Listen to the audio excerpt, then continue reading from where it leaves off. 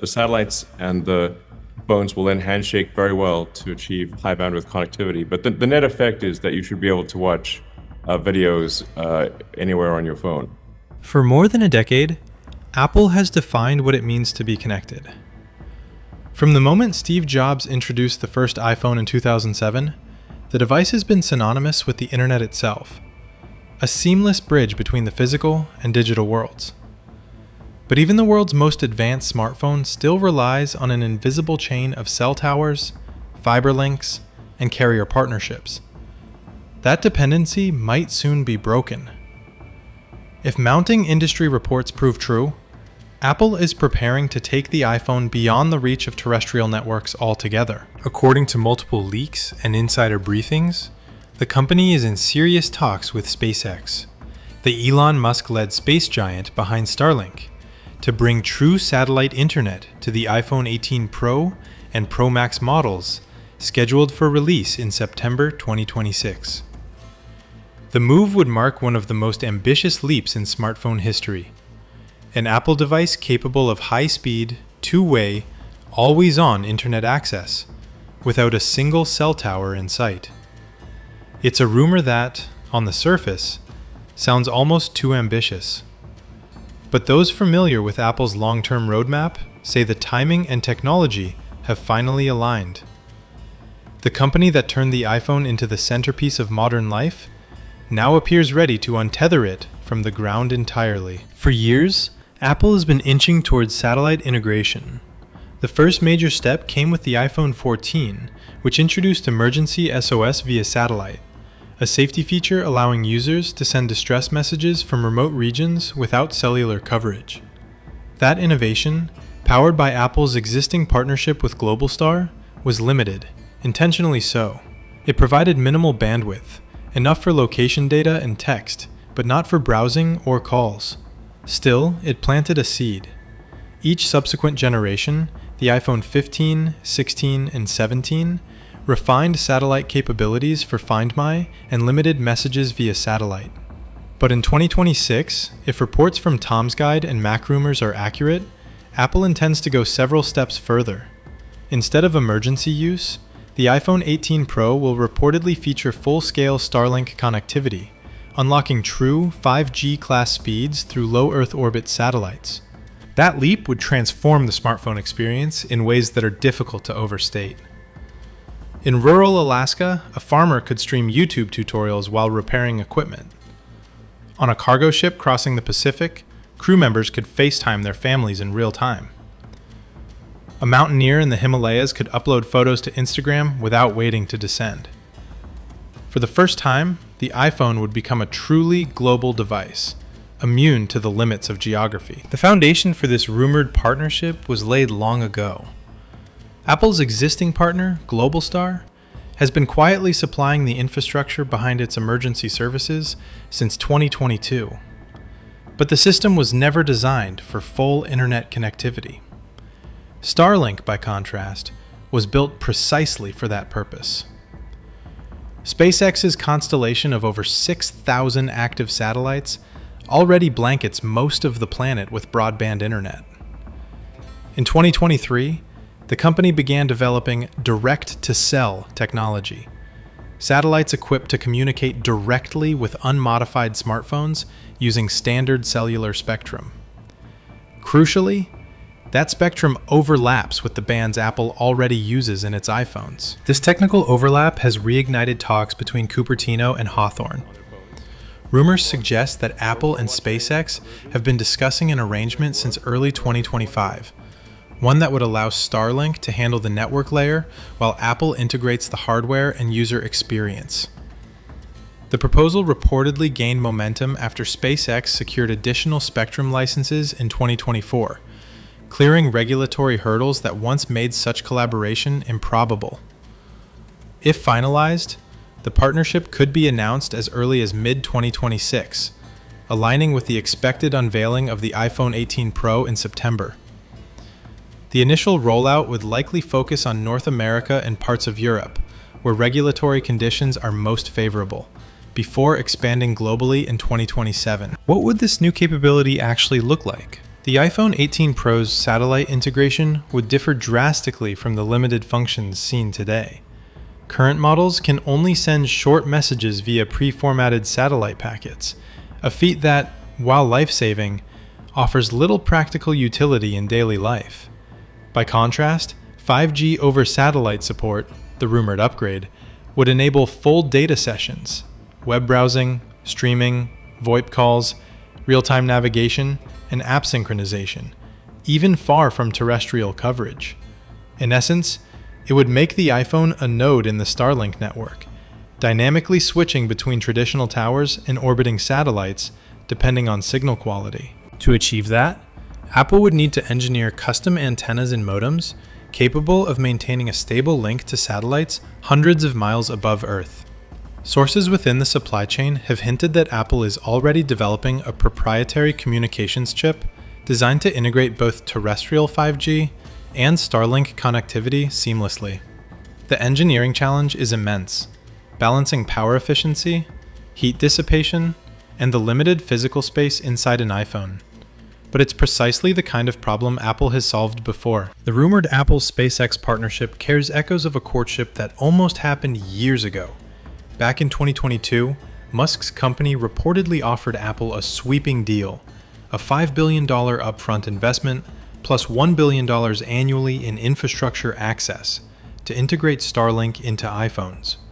Apple declined, favoring its smaller, more controllable arrangement with Globalstar. Three years later, the landscape looks very different. Starlink's network is now far denser, its technology more mature, and its spectrum rights far broader. Meanwhile, Apple's ambitions for connectivity have outgrown the limits of its current system. As one analyst told 9to5Mac, the infrastructure now exists for Apple to make satellite internet feel like Wi Fi, not like a science experiment. This time, the business incentives align too. SpaceX needs partners to monetize its massive satellite grid beyond residential subscribers. Apple, on the other hand, thrives on ecosystem integration a collaboration would let each company play to its strengths. SpaceX handling the orbital network, Apple controlling the experience, privacy, and hardware optimization. Yet the move would also signal a subtle but profound shift in Apple's partnerships. It would likely diminish Globalstar's role or force Apple into a dual provider model, a complexity that could strain existing contracts. Moreover, telecom carriers, Apple's traditional allies, may view the Starlink deal as a direct threat. After all, if an iPhone can access the internet anywhere without a carrier network, what happens to the carrier business model? For Apple's engineers, integrating Starlink into the iPhone 18 Pro would be a logistical symphony of precision. The company has historically prioritized minimalist design, making the inclusion of additional antennas or larger batteries an aesthetic and thermal challenge. Achieving satellite broadband inside a 7mm thin device requires groundbreaking radio components and an adaptive antenna array capable of tracking multiple satellites in low Earth orbit. Then there's the matter of power consumption. Satellite communication demands far higher transmission energy than standard cellular links. To offset this, Apple may lean on new silicon efficiency improvements from its next generation A series chip and potentially a dedicated satellite modem built in-house. Recent patent filings hint at an advanced beamforming system designed to optimize signal directionality while conserving power, a feature that could debut with this model. Behind the scenes, the regulatory puzzle looms large. Every nation controls its own airwaves, and the notion of a single smartphone connecting to satellites that traverse dozens of jurisdictions introduces new legal complexities. From the Federal Communications Commission in the US to the European Space Agency, Apple and SpaceX would need to negotiate a patchwork of approvals. Nonetheless, the momentum toward global regulatory frameworks for direct to device satellite service, led by companies like AST SpaceMobile and Lynk Global, suggests these hurdles are gradually diminishing. Even if the technology works flawlessly, one of the biggest questions remains what will it cost? Today, Apple's Satellite SOS feature is free, subsidized as a goodwill gesture and a marketing differentiator. But full satellite internet would be an entirely different economic equation. Industry observers predict Apple could offer it as a paid subscription, either bundled with existing services like Apple One or sold through carriers as a premium add on. Carriers themselves may be part of the solution rather than the obstacle. Some analysts envision hybrid plans, where a user's standard data plan automatically transitions to Starlink coverage when they leave terrestrial range, with charges adjusted accordingly. Such a model could prevent the alienation of mobile partners while allowing Apple to market global connectivity as an extension of its ecosystem, rather than a replacement for cellular service. However, given the cost of satellite bandwidth and infrastructure maintenance, prices will likely start high, perhaps comparable to international roaming fees, before economies of scale drive them down. If Apple succeeds in delivering true Starlink connectivity, the implications would ripple far beyond its own product line. It would instantly grant the company a technological advantage no other smartphone maker could match, at least in the short term. Rivals like Samsung and Google are exploring similar partnerships, but none have Apple's integrated ecosystem or design discipline. For consumers, the benefits are straightforward but profound global coverage, safety, and independence. For Apple, the gains are strategic. Satellite connectivity would enhance everything from maps and fitness to Apple Watch data sync, creating an always on experience that extends the company's digital reach. It would also open entirely new markets, from maritime industries to developing regions with limited cellular infrastructure. Yet, as transformative as it sounds, Apple is unlikely to abandon its cautious, incremental approach. The company rarely introduces unproven technologies without years of quiet testing. Insiders note that the iPhone 18 Pro's Starlink integration, if confirmed, will probably launch in limited regions first, gradually expanding as the experience matures. The prospect of an iPhone that doesn't need a cell tower has already rattled parts of the telecom world. Analysts warn that if consumers begin to rely on satellite internet for essential connectivity, carriers may face an existential challenge. In the long run, however, most experts believe coexistence is more likely than conflict. Satellite links, while powerful, still suffer from latency, line of sight, and bandwidth constraints that make them complementary rather than competitive to terrestrial networks. For Apple, the partnership would also represent a philosophical statement.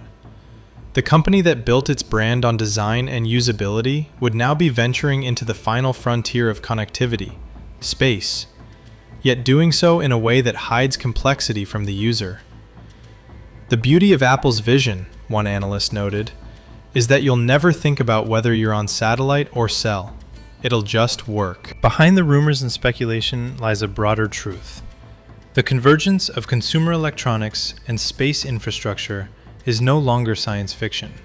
With SpaceX's Starlink constellation operating at massive scale and Apple's iPhone serving as the world's most pervasive personal computer, their potential alliance feels almost inevitable.